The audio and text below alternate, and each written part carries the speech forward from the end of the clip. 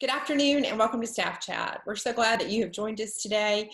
Um, it is the second week of school, and so we thought nothing could be more fun than for us to talk about our experience as being a student in elementary and middle and high school.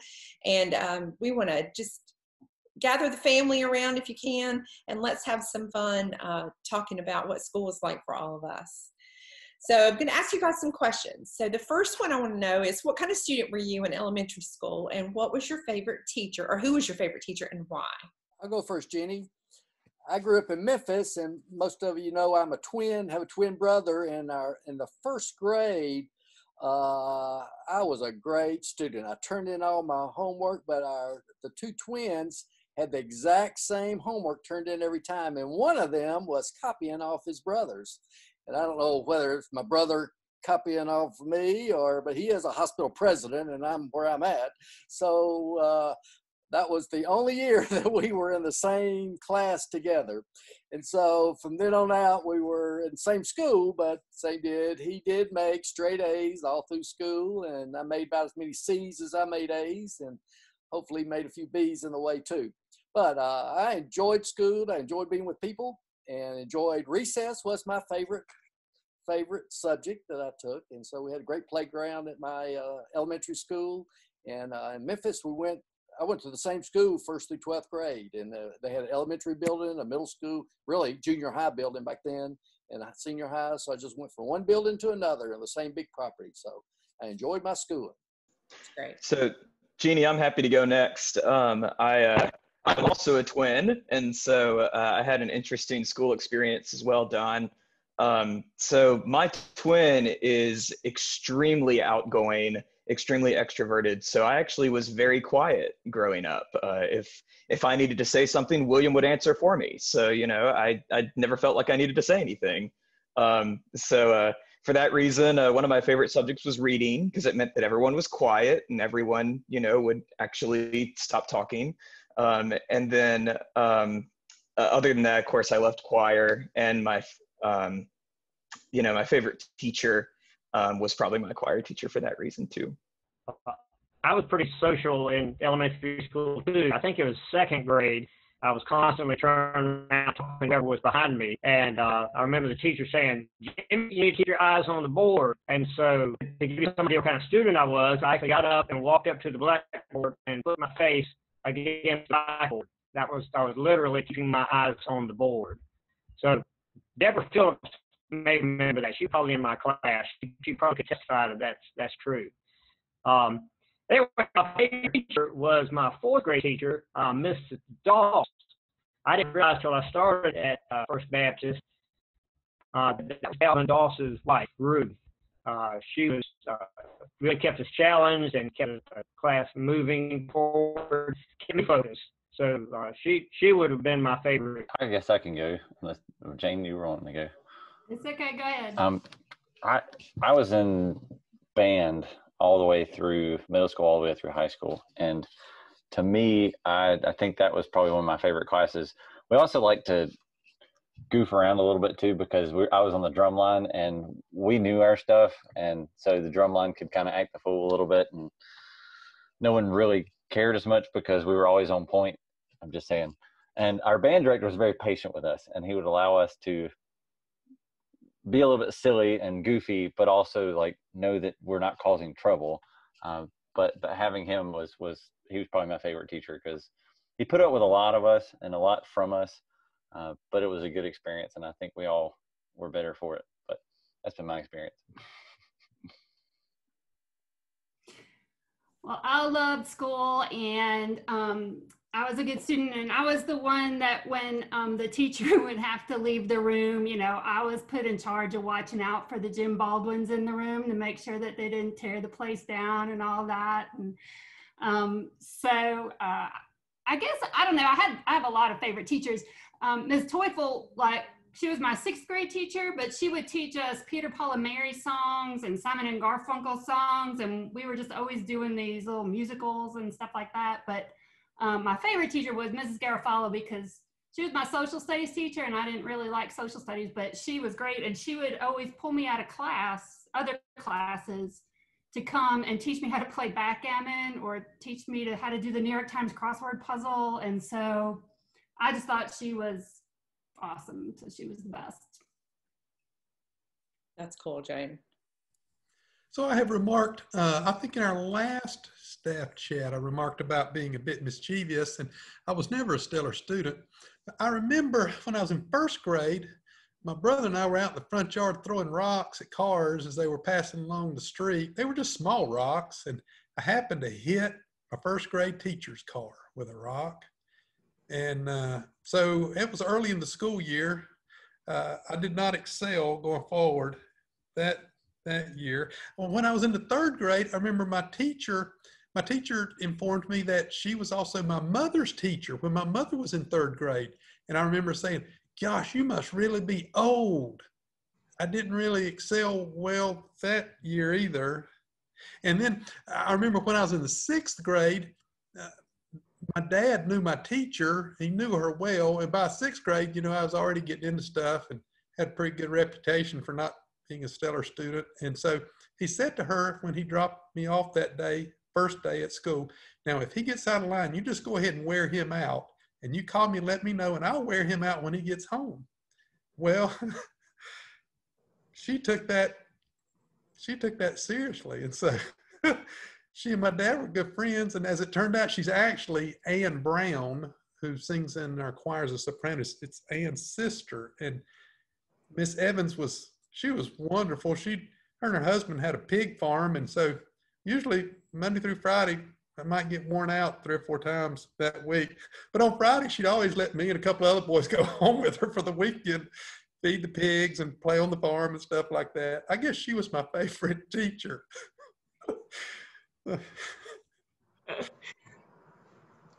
well, I was a very serious student um, that probably doesn't surprise anyone, but my goal was to always have my paper turned in first before anyone else and that it would be perfect. and um, my favorite role was to do anything that like allowed me to go to the office to be the special helper or grade papers or um, assist or help or whatever. So um, I I was always the teacher's pet. Um, pretty much. Um, so my favorite teacher, I had lots of favorites, but um, in elementary school, my favorite teacher was my fifth grade teacher, Miss Jacobs, and she had this huge system. Um, it was like a big chart on the wall of we would be put in groups every Monday, and I guess they would go for two weeks or so. You're in this collective group, and we got to make a name for our team, and then we could earn points for being the fastest or the best or the most clean or the most efficient or the best communicators or whatever doing the most spectacular project and so it rewarded um, effort. And so at the end of those two weeks she would take the winning team on these amazing um, like adventures. Like she would take us to putt putt golf or to go get ice cream or whatever. And at the end of the year the the five people that had been on the most winning teams throughout the year got to go to the sundial restaurant in atlanta um, with her. And um and so like what an amazing thing.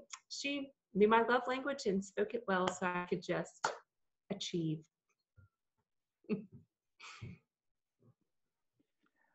Well I, I, assume the staff is, is going to find this probably hard to believe but i was extremely studious uh, as as a youngster. Uh, yes ma'am no ma'am all that kind of stuff. And uh, you know i enjoyed school loved being in school. Um, uh, I, I, like to talk at, at, an early age, so I, I, got in trouble for that occasionally. But but um, you know, I just I just love going to school, being a part of school, and, and just just all that kind of stuff. And um, uh, my fourth grade math teacher, Ms. Lawson, um, she uh, came up with these little math games that we'd play. We'd have to go up to the board, and it'd be timed, and you'd have competition one on one. I just remember just falling in love with that because I wanted to win and I wanted to do something great and and I just love making her happy too. And so, you know, that was just so so exciting for me. And and I know again, calm down, staff. I don't want anybody having heart attack. But but my senior superlative was Mr. Courteous. That's awesome, John. what happened? What happened? Come on. That's on. really funny, John. I'll go next. Um, I my my school experience was kind of a I guess kind of a strange one. I I spent time kind of in and out of a bunch of different schools, um, public school, a little bit of homeschooling, back to public school, private school, back to public school. But um, one of the reasons for that is, uh, you know, studies were never an issue for me. It was really, I think, more like the social side of things.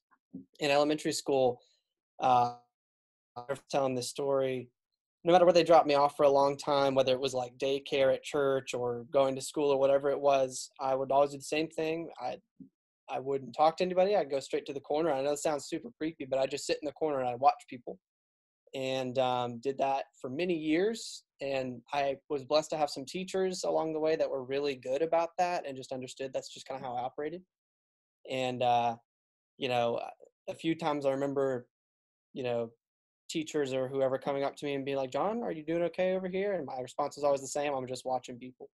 And um, so I know that sounds really weird, but middle school hit and uh, all of a sudden, you know, middle school equals, you know, figure out social cues and stuff, which I kind of fumbled through a little bit. Uh, and kind of made it work. But I also uh, fell in love with band during middle school and um, played the trumpet and found that I kind of had a knack for that. And and so that really kind of held things together for me weirdly enough um, really kind of helped me break out of you know my shell a bit and um, you know did band all the way through middle school did band all the way through high school until my senior year where i switched to chorus um, and that was kind of it yeah i and as far as like studies go or like stories um, like i said I, I was just kind of was a good student i knew it was what i needed to do and so i just kind of did it but the socialization aspect was definitely the harder part of my my school. Thanks, John. I think everybody. I, I, um, I'll go. So I I don't remember elementary school, y'all. I've been like racking my brain trying to figure it out. I remember parts of middle school, but I don't remember elementary school. So I think I liked school. I don't know. Um, I I didn't love high school. I just I didn't love the study part. I loved the social part, but I didn't love the study part of high school. But I did have a teacher in the ninth grade. Um, her name was Mrs. Horn. She was advanced English teacher, and she was known as the hardest teacher in school, but I absolutely loved her. She set clear boundaries, like you knew how to achieve and what to do, and you had to work hard. And I really liked English grammar like that whole dissecting dissecting sentences and all the grammar pieces of English. I just loved doing that, and so that's probably. Um, I'm sure I have some elementary school memories back in there somewhere, but I just don't remember what they are. So, um, okay, our next question is going to be this. Um, what piece of advice would you give to parents of students, kids, and students now? I have one thing that uh, I know our kids right now in this moment, a lot of them are spending more time online with their schoolwork. I would say to parents and families of young kids or to teenagers, whatever, to find something fun to do as a family during this time, especially with the way school is going, because the conversations I'm having with teenagers, they are not enjoying online school at all. and it's kind of frustrating to hear or sorry i can hear their frustration in that and what i hear when i when they say that is i really need to just do something. So my point of advice would be to just go do something as a family and i know even that is limited because we can't just go and do like we would five months ago so we have to keep all that in mind as well. Maybe it's a board game night maybe it's a i don't know a movie night or something that your family does that just your family does. Uh, and find something like that to do because I think that's helpful because they don't have recess like they did. They don't have all the outlets that they did with gym or weightlifting or whatever that they were doing in high school or whatever. I would say that'd be helpful, but that's just me. Yeah, I, I my mom was a teacher, my wife's a teacher, my daughter's a teacher. Uh, you know, for me, I, I think one of the advices that I would give is, is try to love on your children's teachers you know, don't just look at the process of, of they're just fulfilling a job, uh, which they are, but also the reality that they're human beings and, and it's tough for them too. And to, to try to love on them and encourage them and grace them and bless them. I think that models a great example for your children uh, how to deal with children, especially if there might be some tension or some conflict there. It's a, it's a great way for them to get sort of an early view of that, and and to know the parents, you know, are going to be fair and and loving and graceful, and that, that's just a, a great thing. And so I just in, encourage moms and dads to try to love up those teachers and and and and treat them uh, with the respect that they deserve for for the crazy hard work that they do.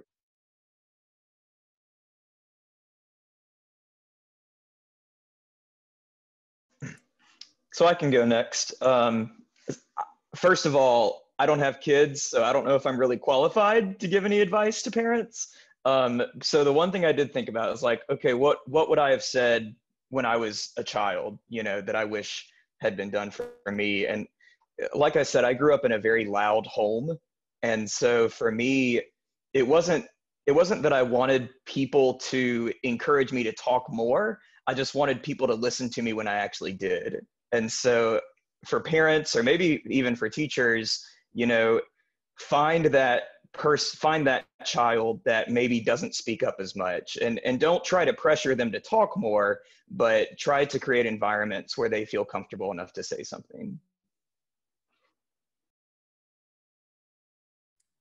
Yeah i'm going to jump on there with you stephen. I think it's important that you listen to your children. Listen recognize your children uh, that are you know all children are not the same you know and even if you have multiple children there in your home um, they have their strengths and they have their weaknesses and you need to make sure that you listen you know, to all your kids try to have time with your kids one-on-one you give them some specific time where they get your attention your heart your interests and uh, try to plan some family meals together. One of the things that we used to do is, you know, we would try to have dinner together. And it, our world was crazy back then too. But try to have dinner together. We would ask the kids, what's the best thing that happened for you today? And what's the worst thing that happened for you today? And listen to them, you know, the, the things that they felt good about things that, that, that they struggled with. And so, uh, you know, we and we'd address those those things with with honesty and um, I think that's my advice to parents.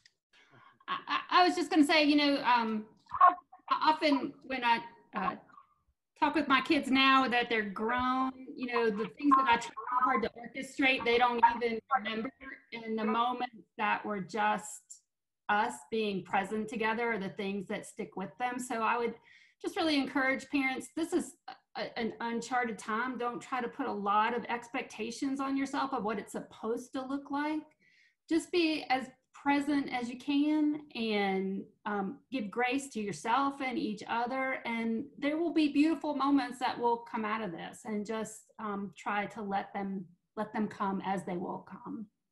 Uh, I remember growing up, uh, I, I, don't remember ever my mother and father sitting down with me and helping me with my homework. And we were sort of on our own. And, and, you know, like I said, my brother, we had four boys in our family and, and uh, we, we were just had to learned to do it on our own, I guess. And but then when you know when I but we did a lot of stuff together as a family. We went camping a lot together. We we never went out to eat. We had supper, breakfast, lunch, and supper every meal together, and and when during the summer and breakfast and supper every night. Uh, so we had a great great time as a family. But I know when I was uh, raising my two boys up that we uh, we didn't really do you know, sit down with them, do their homework. But I was a project man. I love doing projects, whether it's a science project or whether doing big posters and making it look flashy and just making butterfly collections. I was the best butterfly collection guy in the world, and and so uh, we had a great time with me and my two boys just doing projects together and and uh, stuff like that. Well, I guess I would. Um, I write down a whole bunch of stuff because you know, like when you when you come on the other side, like my son's 25 now, like he's grown, and you think, oh man, I wish somebody had told me all these things. Uh, and Lynn Collins did tell me some of them, so that's great. But you know, I think helping your kids love to learn is the most important thing. You know, not necessarily the academic thing, but whatever it is that gives them passion, and whether it's Legos or cooking or gardening or whatever whatever it is but just helping them ask them questions give them that inquisitive space. I love that. And um i think the other piece of advice i would give is let them leave their book at school and like forget their book and have to deal with it. And you know let them not you know miss a deadline on a project because they procrastinated. Um, i didn't do that. I wish i had done that. Um, we didn't have very many opportunities you know but we i did have some and so i wish that i had been a little bit better about that to you know let him have some natural consequences of what it means to not always get it right. Um, and then to remember that it's not about building the resume for college. You know, that college is available for everybody, and it may not be Harvard or your dream school, but college is available for everybody. And so, um, life is more important because it goes by so quick than the resume you're going to build for college. And so, I think those are pieces of advice um, that I would give to our parents and to breathe, just breathe. Jeannie, you stole a little bit of my thunder because I was going to say my parents did a lot of really great things um, with me, I think. And looking back on it, I'm really grateful for the way they did some of those things. But one of the biggest ones was they were all about natural consequences and letting the chips fall as as we had set them up to fall, so to speak. Um, and by operating that way, it taught us to be responsible. I think me and my two brothers, but it also allowed them to have moments to really show us grace you know, it's not like they always let us, you know, figure things out on our own. Um, you know, and, and when they did show when they did show grace, they came in and they always explained that, you know, we're not going to let you fall on this because God doesn't let you fall. And it was really just an, a, a great teaching moment, uh, really great, you know, parental gospel teaching moment.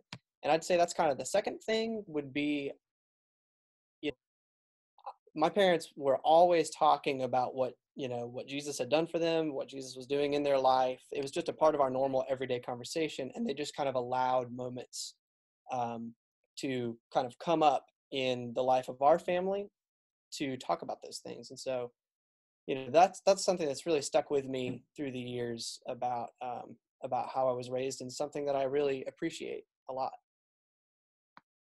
john i love that you said that i I never forget, it was kind of senior year, and I can remember exactly where we were. We were near the Krispy Kreme, and you know, we didn't have opportunities to be in the car very often because he had his own car and he drove, and you know, that changes all dynamics. But we were in the car together going somewhere, and I just remember having this overwhelming sense of, I don't know if he understands grace. I don't know if he's had op- enough opportunities in life to really grasp grace. And just feeling like I had a short time before college was about to happen to um, just make sure that he knew that. And so I, I love that what you said, John. Anybody else? It's me.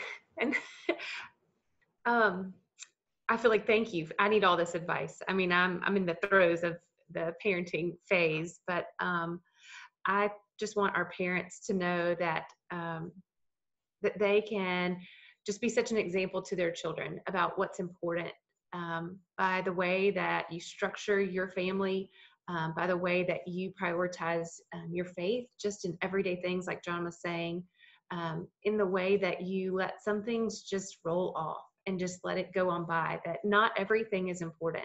Um, and so I look back at my parents and the way that they really set that example for us. Um, I mean, we knew that there was just no question about where we were going to be on Sunday morning. We were going to be at church. Like that just was not um, not a question because that was a, a high priority for our family. Um, but then I also knew that if I um, had a dream or a vision that they would try to help me in any way they could to try to make that happen. So when I wanted to create a stamp club, then stamp club it was. And so like whatever, you know, whatever um, the idea was, it wasn't always that they were going to make a giant financial investment or we were going to, you know, do some crazy thing but they were like let's let's give it a try. If you want to let's give it a try. And um and i think um how encouraging that was. And so as i try to think i want to be more like my parents i'm like do i encourage my kids enough um to, to take on new adventures or or whatever? Um so i would challenge parents to do that, but to also all that, that all of you have said that there is grace. And so um, at the end of the day, when um, you know all the kids are in bed and you have those moments where you think, I really didn't do my best today. Um, there is grace, and um, I think your kids will learn that I think to be honest and to say to them, you know, um, when when as parents, when we've messed up, you know, I'm sorry I lost my temper. I'm sorry I didn't give it my best yesterday, or um, I'm sorry I wasn't my best. Um, that it models for them that they too can have off days, and that we need to offer our kids a lot of grace, um, especially in times like these when um, everything is out of sorts. And so when we can say to them, you know, you're allowed to mess up too, because certainly we do and um, as the adults and so kids get even more messed up opportunities and more grace and so i just hope in the end that they'll recognize that um, you know that they are loved and beloved and um, precious children of god Yeah, too. Becca, thanks for saying that because you know, sometimes we need to say to our parents, recognize there's there's only ever been one perfect parent. That's our Heavenly Father, and only one perfect child, and that's Jesus.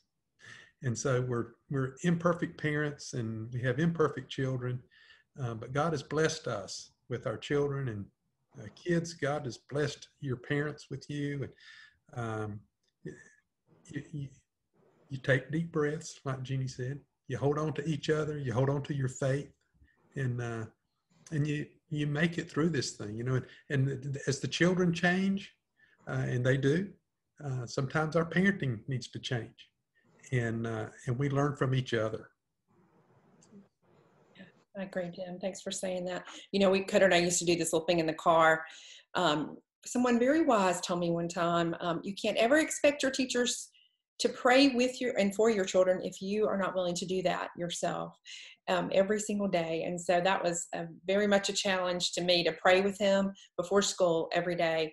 And pretty much without fail, that was that was the one thing we did. And I would we would always say, "This is the day the Lord has made. Let us rejoice and be glad in it." And I would just tell him, you know, today is a new day. Whatever happened yesterday is yesterday, and we don't know about tomorrow, but today God has given us a new day. Y'all, thank you. I, hope this will be a little bit of it's been encouragement to me. I hope it'll be some encouragement to the folks that'll get to watch. And Beck, I have asked you to pray, but I feel like we need to be praying for you. But um, as our minister to children and families, I'm going to ask you to close us out in prayer. But just know that we do pray for you. Oh, thanks. Let's pray. God, we just um, we thank you for families. We thank you for each of the children and the families that you have placed them in. We pray for our parents and for all of our students, God, that you would just continue to allow them to um, to encourage and look to you for um, for help in all of their days. God, as we um, have families who are experiencing life in new ways these days, we pray for extra patience and extra peace and extra grace. God, um, help us and all of our children um, always keep their eyes on you, knowing that you um, paved the way for how to live and how to love, and the example that we have for forgiveness and mercy and um, all of the things that parents and kids need as they um, learn and grow together. God, we also pray for our teachers and for our schools and for our administrators as they are navigating new waters and figuring out all the best ways to serve our children.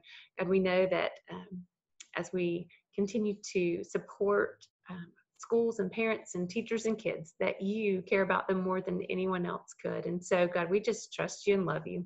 And we thank you for all of your mercies that are new each day. Amen. Thank you, Becca. Everybody say bye. Bye, guys.